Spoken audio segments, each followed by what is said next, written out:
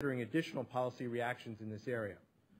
From a system standpoint, NASDAQ's markets operated continuously throughout the day and throughout the critical 17 minutes.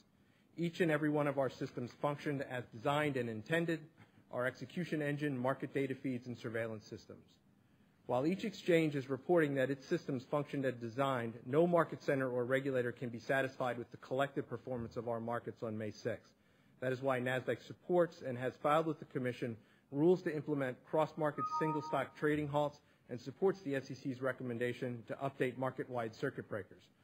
NASDAQ also supports the Commission's decision to review practices that cause individual markets to pause or go slow to determine if any other practice starves the market of liquidity when it's most needed, including the operation of certain order types or the practice of market maker quotes.